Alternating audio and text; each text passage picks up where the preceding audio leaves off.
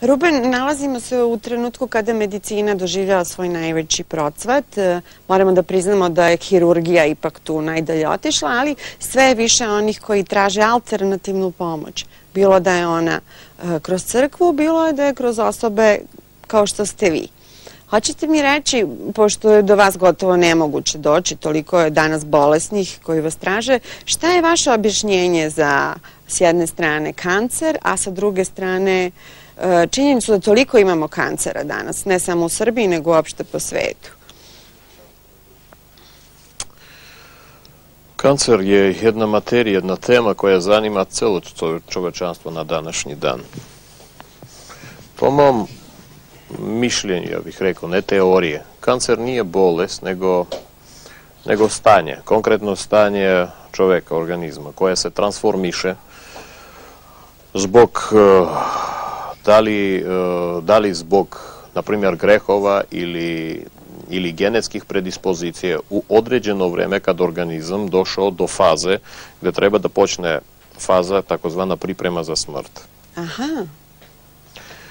E, smrt isto toliko komplikovan proces kao rođenje. Materija koja se stvara isto tako se eliminiše, a ne odjednom. Ima je pa je nema. Ta faza transformacije u nešto iz nečega traži, e, traži ozbiljnu kontrolu od strane mozga, na primjer, od strane mozga. Od koje to godine formalno? Ide ili ne postoji ta granica? nažalost nema sistematizacije i ne daj Bože da bude takva Razumem, sistematizacija. Znači relativna je stvar. Niz komponenta, niz takozvanih planiranih slučajnosti, to su oni koji, koji se koji popunjavaju klastere i aktivira se jedan softver. Konkretno tako funkcioniše u ljudskoj glavi. Mhm. To je normalno samo jedan od pogleda. Ima objašnjenje da je kancer uh, došao iz kosmosa, na primjer, i, takva, i takav prilaz ima. A kako ga vi lečite? Rezultati su vam neverovatni, mislim. Ja bih izbegao reč lečimo. Dobro. Kako da to nazovemo? Kako ga eliminišete? A pokušavam da, ajde da kažem, kako što sam napisao jednom, dilujem. Dilujete, dobro. Malo. Radi to dovoljno jednostavno. Evo, ja uvijek objašnjavam ovako, ima na svetu koliko mobilnih telefona? Milijardu, jel? Mhm. I ako ide poziv, znači zvoni moj telefon, konkretno moj mobilni. Znači ima jedan niz spektar kodova šifara na koje reaguje konkretno moj mobilni telefon. Isto tako i ljudi. Svako ima niz svojih podataka. E sad zamislite jedan, jedan od mobilnih telefona koji e, može da bira brojeve. Значи, на суштини може да реагуе на било какав позив, сигнал, кој ќе дочи. Тоа е обична физика. Добра. Последних 20 година сам ја развијал управо те своје могуćности у глави да да конструкцију главе или зовите начин размишлења елиминишем и формирам онај кој адекватан конкретном čoveku. A kao neki znači, novi softver, kao što menjamo upravo kompjuterima. Upravo tako. Sistem prilagođavanja, maksimalno prilagođavanje određenoj konfiguraciji glave ili mozga. Znači signali koji, to je mnogo teoretski, Mhm. Signali postaju vrlo slični. A zato što ja bi trebao i znam u stvari kako se formirati procese u glavi, pokušavam bukvalno softverski da downloadujem ili pošaljem signali. I to se dešava sve na nekom energetskom mističkom planu? Ne, to se na, upravo to o čemu pričam se događa na mentalnom planu. Mhm. Sa energijama tu nećeš moći mnogo da uradiš. Mi mhm. pričamo o vrlo subtilnoj materiji. Na primjer, u, u narodu ima mišljenje što više energije, to bolje. Mhm. Nije to tako. Što više vode nije bolje. Popi 5 litara vode pa ćeš vidjeti rezultati kakvi su, do fatalnih. Da, razumem, naročito, to je naše zagađe. A naročito kad se, kad se priča o mentalnim energijama, gde je materija toliko subtilna da količina mora da bude tačna, precizna i jako mala. Mhm. Jako mala. I sad takvim blaganim korigovanjem se može doći do x, opet kažem, nekih promjena koje će se odražavati na organskom stanju. Znači, reći izlečenje ja tu ne vidim. Mhm. Samo pomeram nešto u nekim razumnim granicama. Nećemo zaboraviti, ipak svaki čovjek ima svoju sudbinu, koja je napisana tako kako je napisana. Mislite kao predestinacija nekada imamo dan smrti u tom smislu?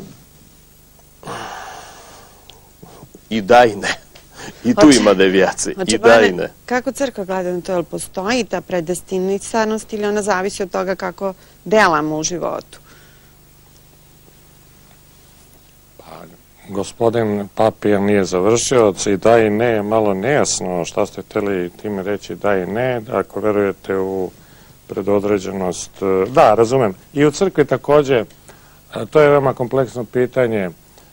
Crkva negira predodređenost, ali u isto vreme veruje u predvečni savet Svete Trojice.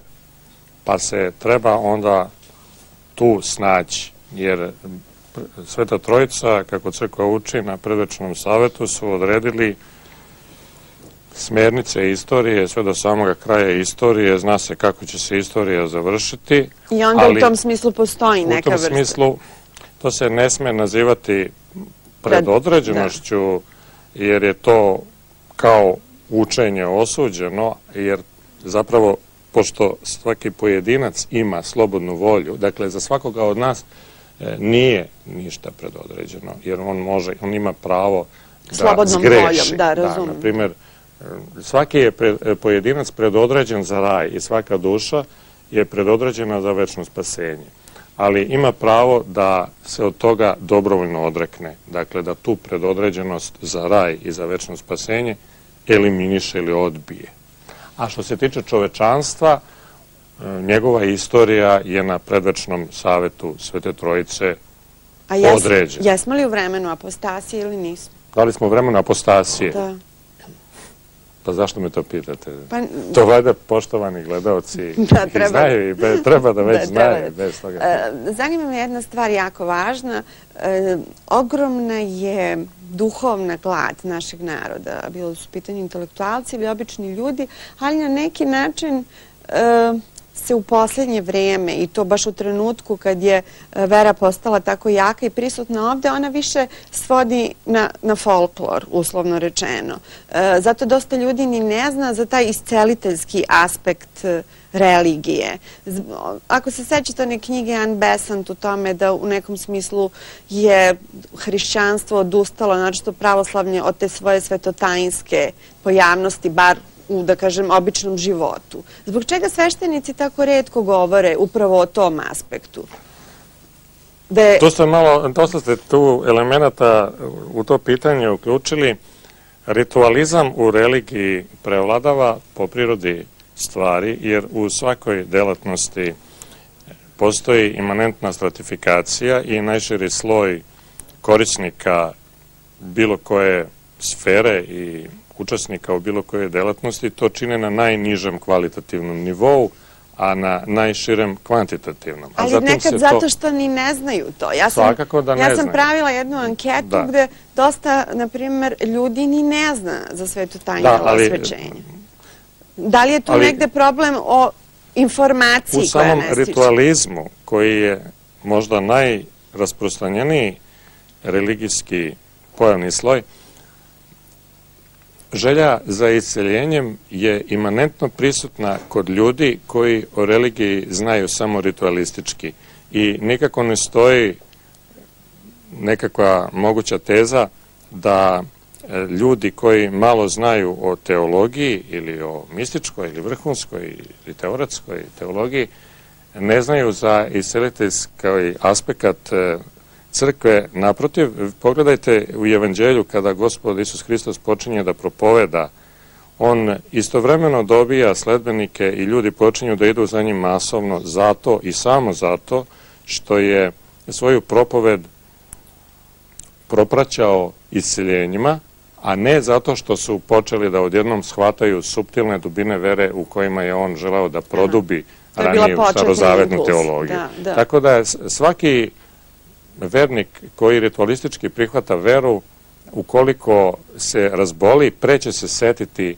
crkve, crkve, da ode da upali sveću, nego li pak ukoliko je zdrav i posao mu dobro ide u drugu.